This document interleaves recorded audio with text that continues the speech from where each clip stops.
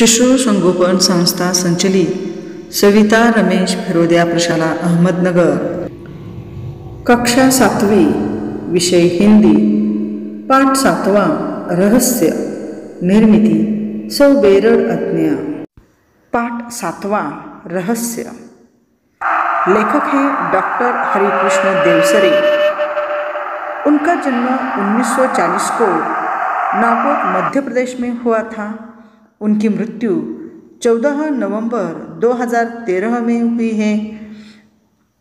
प्रस्तुत कहानी के माध्यम से लेखक ने बच्चों को अंधविश्वासों से दूर रहते हुए वैज्ञानिक दृष्टिकोण को अपनाने के लिए प्रेरित किया है। अंधेरी रात थी। चारों ओर सन्नाटा था। शांति थी। हाथ फैलाना सूझता था। कभी कभी कुत्तों के भौंकने की भी आवाज़ सुनाई पड़ती थी। आधी रात बीत चुकी थी। मामा जी के घर से कुछ दूरी पर सामने हवेली थी। हवेली में उजाला था। आर्यन खेतों को सरपट सरपट इसका अर्थ है, तेज़ी से पार करता हुआ उस ओर अकेले बढ़ रहा था। उस हवेली में आधी रात के बाद कल भी ऐसा ही उजाला देखा था। मामा जी ने पहले ही आर्यन से कह दिया था, उधर हवेली की ओर जाने की ज़रूरत नहीं है, वह हवेली भूतों का डेरा है। आर्यन मन ही मन मुस्काने लगा। वह जानता था कि भूत वूत कुछ नहीं होते, यह कपोल कल्पना है। कपोल कल्पना, इसका अर्थ है झूठी बात। कक्षा में विज्ञान के शिक्षक ने वैज्ञानिक दृष्टिकोण अच्छी तरह समझाया था। इस रहस्य का पता लगाने का आर्यन ने निश्चय किया। मामा जी ने कहा था, इस हवेली में पिछले दस पंद्रह सालों से कोई नहीं रहता। पहले उसमें एक जमींदार का परिवार रहता था। अब जमींदार का परिवार खत्म हो गया है। उस तरफ़ कोई आता जाता नहीं। एक बार घिसू उधर गया था। बेचारे का बुरा हाल हुआ था। वह बीमार पड़ा। तीन महीने तक खाट पकड़े रहा। वह खाट से उतरा ही नहीं, इतना बीमार पड़ गया था। आर्यन करवटे बदलता रहा। करवटे बदलना, बेचैन रहना। वह बेचैन हो गया था। आधी रात को उठकर छत से उसने हवेली को फिर से देखा। वहाँ रोशनी थी। गर्मी की छुट्टियाँ बिताने के लिए वह मामा जी के घर आया था। यह एक समृद्ध गाँव था। समृद्ध धनवान गाँव था। मामा जी के पास एक विदेशी डिजिटल कैमरा भी है। यह बात आर्यन को मालूम थी। मामा जी की एक लड़की थी। उसका नाम था कनिष्का। आर्यन ने कनिष्का से कुछ सलाह मशवरा किया।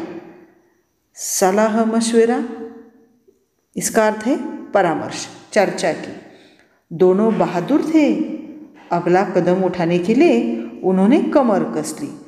कमर कसना, दृढ़ संकल्प करना। इन दोनों ने रहस्य का पता लगाने का दृढ़ संकल्प किया। अगली सुबह आर्यन ने मामा जी से कैमरा मांग लिया। मामा मामी का फ़ोटो उसने खींचा और कनिष्का ने मामा मामी के साथ आर्यन के भी फ़ोटो खींचे। मामा मामी जी बहुत खुश थे। मामा जी ने कैमरे की तारीफ़ करते हुए कहा, रात में मामूली रोशनी में बिना फ्लैशगन के भी यह तस्वीर खींच लेता है। कमाल का लेंस लगा है इसमें। आर्यन ने यह कैमरा अपने ही पास रखा था। कैमरा पाकर आर्यन और कनिष्का बहुत प्रसन्न थे। वे दोनों रात होने का इंतज़ार करने लगे और रहस्य का पता लगाने का यह अच्छा अवसर उन्हें मिला था।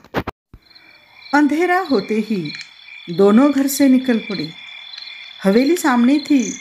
अंदर से हँसी और कह कहों की आवाज़ें सुनाई पड़ रही थी। कहो कहे इसका अर्थ है ज़ोर की हँसी अंदर से ज़ोर ज़ोर से हंसने की आवाज़ सुनाई पड़ रही थी। आर्यन और कनिष्का ने पहले चारों ओर ध्यान से देखा। कहीं कोई खतरा नहीं था। वे दबे पाँव हवेली में चले गए। बीचों बीच एक बड़ा कमरा था। बीचों बीच इसका अर्थ है मध्य भाग में एक बड़ा कमरा था। उसका दरवाज़ा अंदर से बंद था। खिड़कियाँ नीचे से बंद थी, लेकिन ऊपर से खुली थी। बड़ी सावधानी से आर्यन ने अंदर झाँक कर देखा। हट्टे कट्टे मोटे तगड़े बड़ी बड़ी मूछों वाले, कई लोग पगड़ी बांधे बैठे थे। उनके साथ कमीज और पैंट पहने हुए भी कुछ लोग थे। उनकी आँखों से आग बरस रही थी।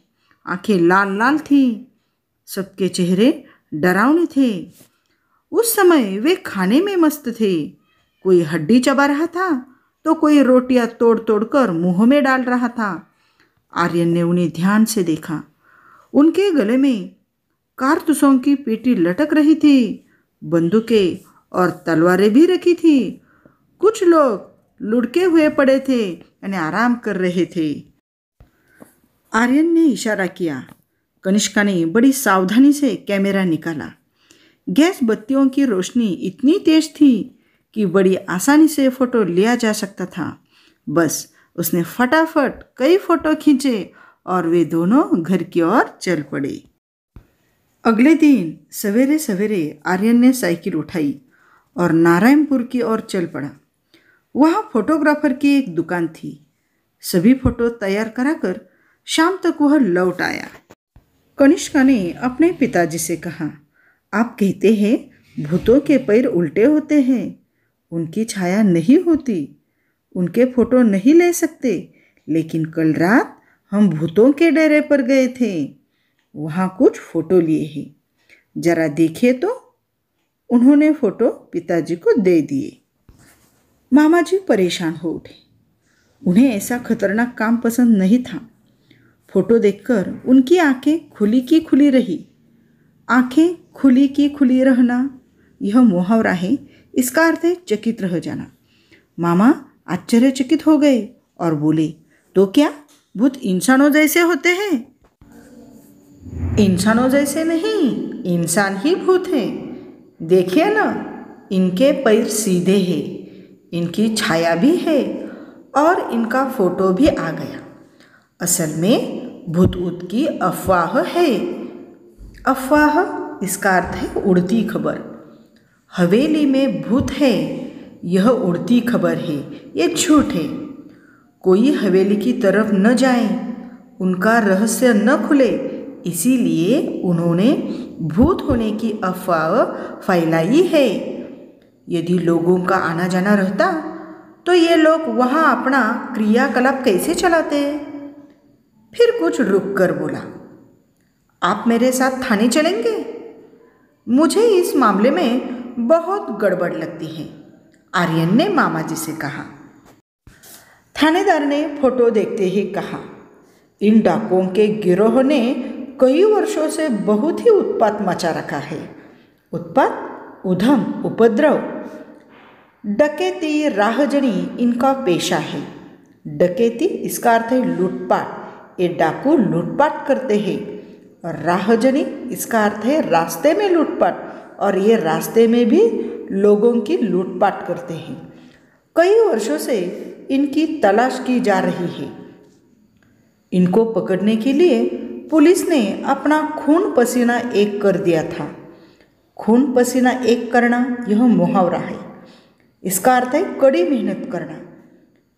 ये जो पुलिस है, ये बहुत दिनों से इनको पकड़ने के लिए मेहनत कर रहे, लेकिन ये मिल नहीं पा रहे।